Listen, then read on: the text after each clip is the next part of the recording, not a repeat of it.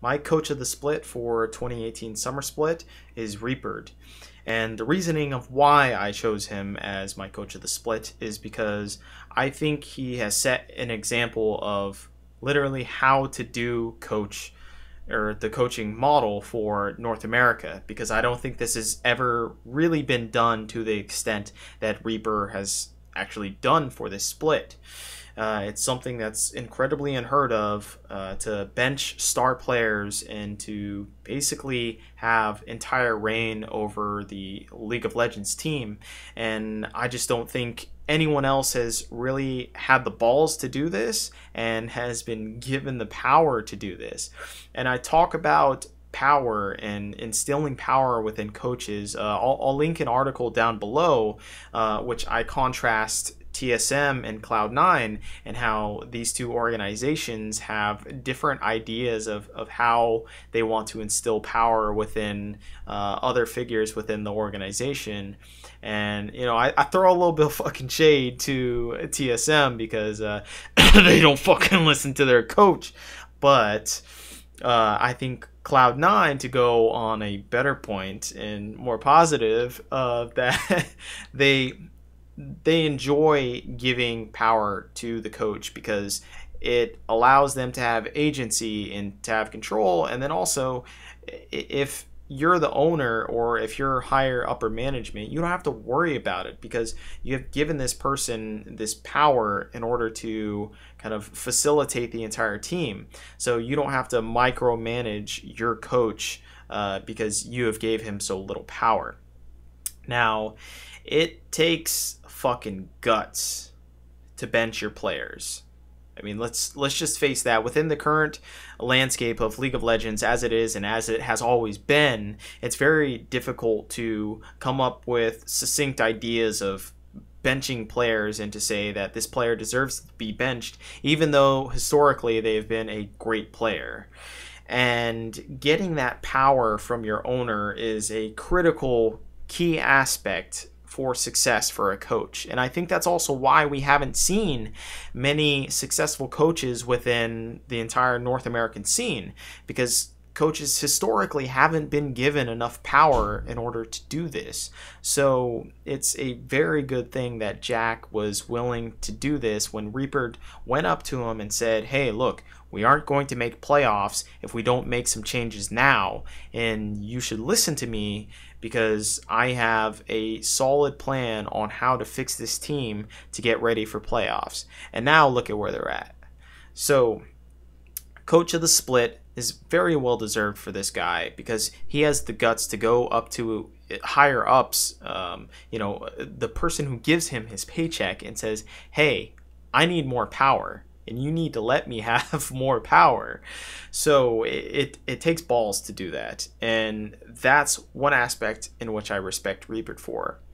And now another thing in which this does uh, as a chain reaction is it keeps people hungry. It keeps players who have been comfortable within the squad, franchise players like Sneaky or Jensen that have been with the team for years, it keeps them hungry and it keeps them wanting to improve because they know now they have someone else to compete with.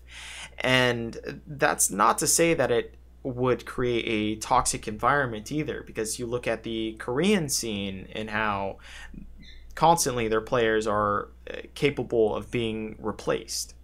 And this may be due to the franchise system that we have currently and how well now you can't lose your your franchise spot easily right? You don't have the fear of relegations if you suddenly sub out sneaky and you lose four games or you sub out jensen and you lose four or five games right? It's that you have time to build upon uh, the game plan, the longevity of your organization and of your team.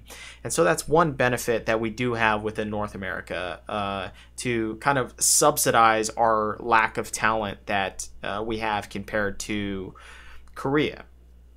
And then finally, eh, basically, Reaper ain't no bitch. he ain't no bitch, and he's not controlled by his players. And that says something that he's able to go up to his star players of Jensen and Sneaky and say, hey, I don't want you to play for next match. I think these other guys are better. You need to go back to the lab and do some homework, uh, and then come back to me when you're ready. Matter of fact, no, I will judge when you are ready, and then I will bring you back in. So you need to prove to me that uh, you are willing to be on this starting roster, and you know that that goes the same with Svenskeren as well too.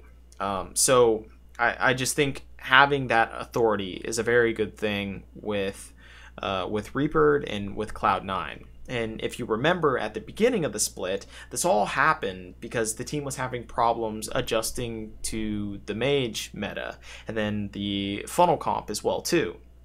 So that all this change happened because this team wasn't really adjusting properly to the meta. And we can all kind of assume that maybe the players weren't willing to try this new meta, maybe they were just slacking. Uh, who really knows? This is all just assumption. But it still takes a nerve from a coach to kind of put fire under someone's ass and say, yo, if you aren't performing, I'm going to get someone who does and that that takes guts to not be controlled by star players like Jensen and like Sneaky who have historically had power because of relegations itself. And so this kind of Korean philosophy is now infiltrating North America, and Reaper is one of those prime examples of someone willing to do this and perpetuating this this type of philosophy. And I think it's it's very good for the North American scene. I think Reaper has literally changed the way North America may forever look at coaching. And that's not just from the team perspective, it's not just from the player perspective, it's also from the fan perspective, importantly because fans are very focused on you know results based analysis. Everyone always says that that reddit has this results based analysis or fans do. And it, it's true to some extent because reaper probably would have got flamed very hard by cloud9 fans if the split didn't work out the way that it did. And and now that you know they're they're headed into playoffs and semifinals and such. So it's it's very important to get those results immediately, but it's also important for a team and an organization to invest for the long term. And that's actually what Reaper did. He invested for the long term, and that fit within the franchise model as well too. Uh, and fuck all the haters. So Reaper doing a really good job, dabbing on the haters. You know he doesn't give a shit. I think he deserves coach of the split. Uh, he got my vote, and uh, I think he's doing an outstanding job. And I hope to see more from him in the future from Cloud9 or from any other organization that wants to pick him up, whatever.